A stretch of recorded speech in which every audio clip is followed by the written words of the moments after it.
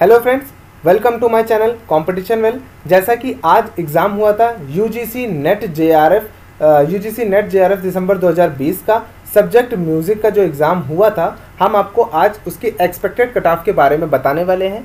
Expected cut of जानने से पहले हम कुछ प्रीवियस एग्ज़ाम प्रीवियस ईयर में जो एग्ज़ाम हुए थे, उनकी कट ऑफ़ के बारे में कुछ जान लेते हैं। और ये बता दें आपको कि जितनी भी ये डेटा दे रखा है, ये सारा का सारा डेटा हमने N T A U G C की ऑफिशियल वेबसाइट से निकाला हुआ है। ठीक है? तो और ये जितना भी डेटा दिया गया है, ये कैसा है? परसेंटेज में दिया गया है।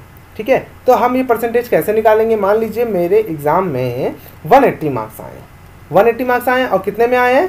थ्री हंड्रेड में आए तो वन एट्टी को ऊपर रखना है और थ्री थ्री हंड्रेड को नीचे रखना है। और क्या कर देना है? हंड्रेड का यहाँ पे मल्टीप्लाई कर देना है। तो ज़ीरो ज़ीरो और ज़ीरो ज़ीरो ये कट जाएँगे तो बचेगा थ्री थ्री से डिवाइड कर देंगे, आ जाएगा सिक्सटी तो कट ऑफ़ के अकॉर्डिंग मेरे जो मार्क्स हैं वो कितने हैं?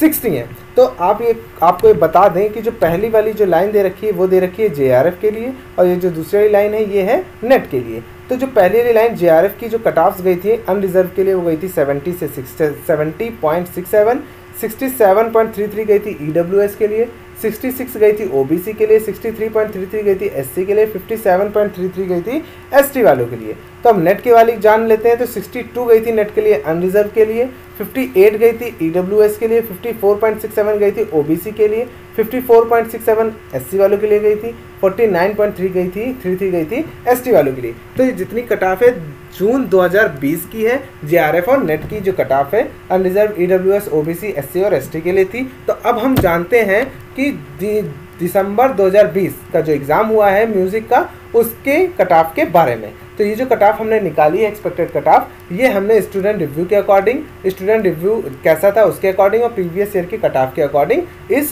कट ऑफ़ को हमने निकाला है। तो जानते हैं कि देखते हैं कि कैसी एक्सपेक्टेड कट ऑफ़ जाएगी।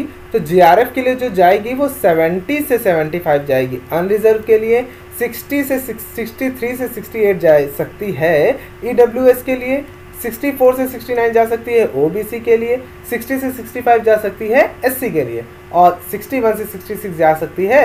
एसटी वालों के लिए जा सकती है। तो अब हम देखेंगे इसके बाद नेट में क्या कट ऑफ़ हमारी एक्सपेक्टेड कट ऑफ़ है।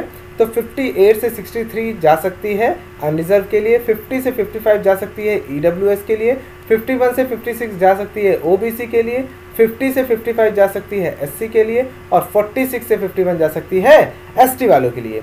तो आप जितने भी बच्चे हमारी इस वीडियो को देख रहे हैं, वो हमारे कमेंट सेक्शन में जाकर अपना एक्सपेक्टेड कट ऑफ़ से रिलेटेड अपना रिव्यू ज़रूर से ज़रूर दें। इससे क्या होगा, हम आपको एक highly expected cut off provide करा पाएँगे।